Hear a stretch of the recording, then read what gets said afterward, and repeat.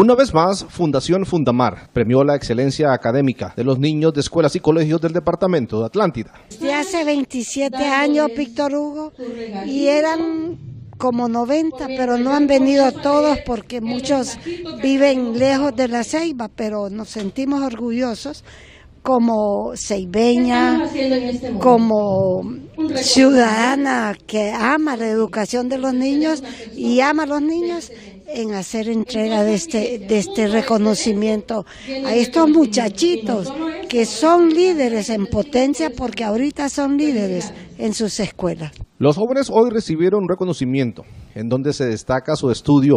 Además de ello, se entregó medallas a los tres primeros lugares. Y el primer lugar me lo he ganado con mucho esfuerzo, con mucha dedicación. Vamos a llamar aquí al eh, frente a Brian Anthony La verdad estoy muy emocionada, muy, la verdad que no, que no lo puedo creer.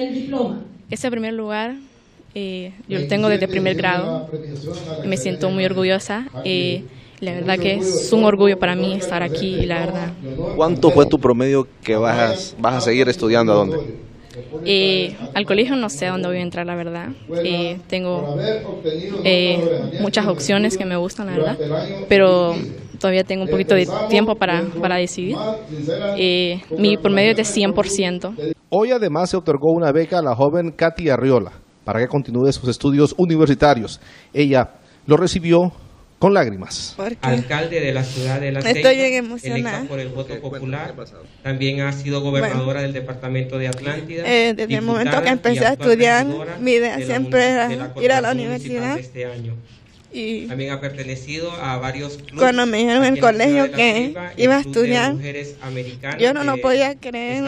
Aquí en nuestro país, y incluso cuando el director me dijo que había ganado una beca, eh, y otros. Yo me quedé eh, sorprendida, pero por todo y todo yo siempre le doy gracias a Dios y, a mis padres que han estado conmigo siempre, en todo momento.